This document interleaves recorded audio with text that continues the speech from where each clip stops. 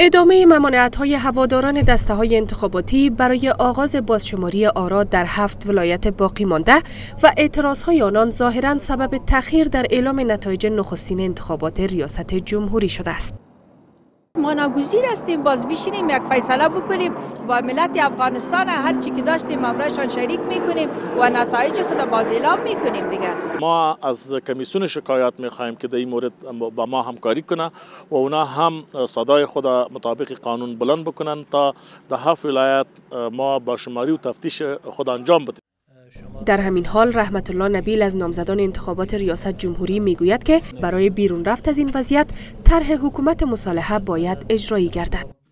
زموږ طرح داده چې از یو حکومت چې هغه یو عبوري مرحله اما د د مصالحه د حکومت په نامه وي یا د صلح د حکومت په نامه باندې یاد شي از سوی دیگر نهادهای ناظر بر روند انتخابات می‌گویند که اعضای کمیسیون مستقل انتخابات از دبیرخانه این کمیسیون خواستند تا درباره بازشماری آرای 500 محل رایدهی در 27 ولایت توضیح بیشتر بدهند.